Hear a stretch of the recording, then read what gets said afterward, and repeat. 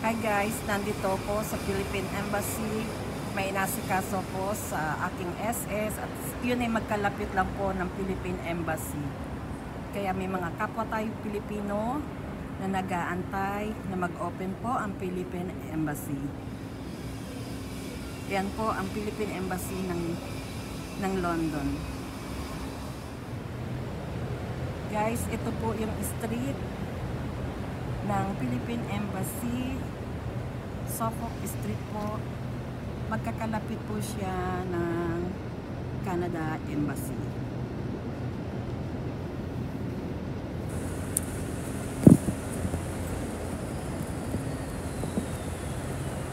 At itong pong way na yan, yan po, papunta po yan sa Leicester Square. At ito naman po ang National Gallery. Ayan po. Kung hindi po pandemic, napakarami pong tao dito. At sa tapat po niyan, yan po ang Trafalgar Square. Dahil pandemic, wala po masyadong tao. Ayan po. Katapat lang din po niya ang Canada Embassy. Ayan po guys, ang Trafalgar. Medyo makulimlim ang panahon. Walang tao, tahimik. Ayan po ang kapaligiran.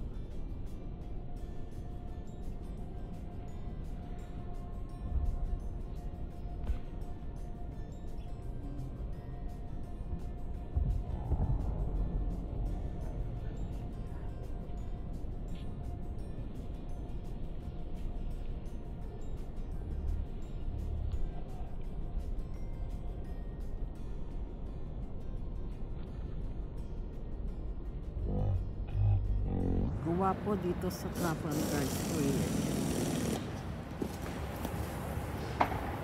Ito po, nandito po ako sa Trafalgar Square. Hindi po open ang fountain. Ayan, makikita nyo.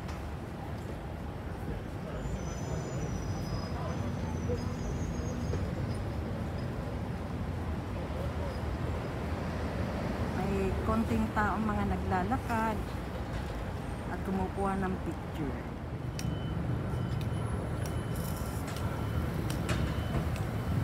Ito po ay punong-puno. Kung wala pong pandemic, puno po ng tao yan. Puno po. Kaya lang, bawal po ngayon.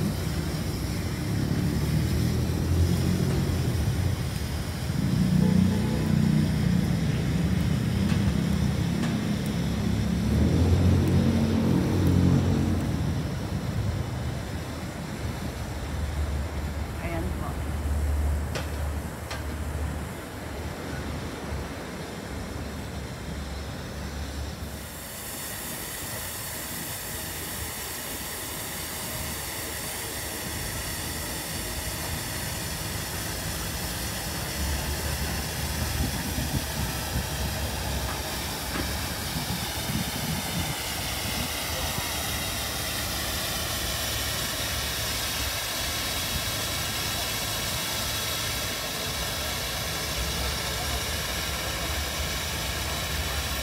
Apat na layon po yata na nagbabantay dito sa salon na to.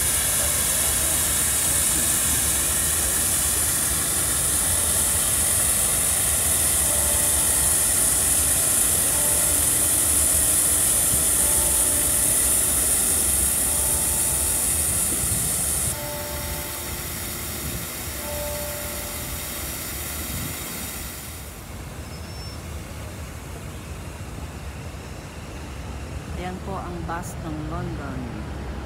Double deck.